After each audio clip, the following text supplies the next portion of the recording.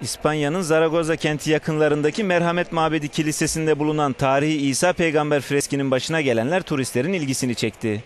80'li yaşlarında bir kadın 20. yüzyılın başında yerel bir ressam tarafından yapılan ve zaman içinde yıpranan freski kendi imkanlarıyla yenilemeye kalkınca ortaya görenleri tebessüm ettiren bir manzara çıktı. Benim çok hoşuma gitti. Çirkin olduğunu düşünmüyorum. Önceki hali de çok güzel ama bu da hoşuma gitti. Nasıl da meşhur olacak? Keşke daha önce yapılsaydı. Tarihi freskin başına gelenler turistleri ve bu yeni eser üzerinden mizah üreten internet kullanıcılarını eğlendirse de sanat çevrelerinin tepkisine yol açtı. Önümüzdeki günlerde bir grup sanat tarihçisinin eserin onarılması için bir araya geleceği bildirildi.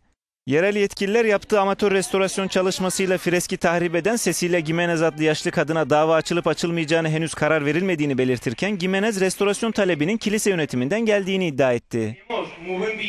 Öte yandan kilisenin bulunduğu Borha köyünde düzenlenen yerel festivalin en popüler konusu köyün adını bir anda dünyaya duyuran yeni fresk ve yaşlı sanat meraklısı Gimenez oldu.